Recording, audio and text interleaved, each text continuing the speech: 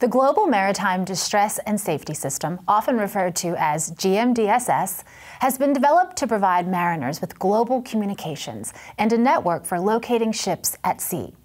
The elements which make up the GMDSS platform are capable of being operated by an individual with minimum communications knowledge and yet enable SAR, search and rescue and alerting services, to be reliably coordinated.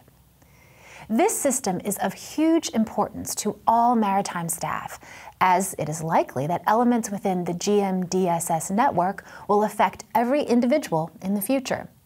Traditionally, the distress and alerting system, as defined by the International Convention for Safety of Life at Sea, SOLAS 74, is constructed around the requirement that all vessels at sea keep a continuous radio watch on specific terrestrial radio frequencies.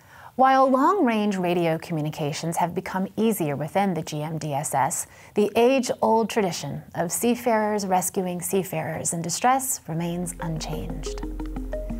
The rapid development of satellite communications and digital technology has had a major impact on the availability of easy-to-use, reliable marine equipment.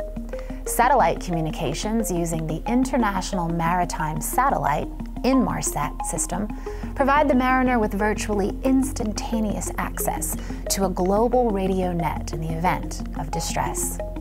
The system is also capable of vessel location and tracking, an invaluable function in the case where disaster rapidly overwhelms a ship.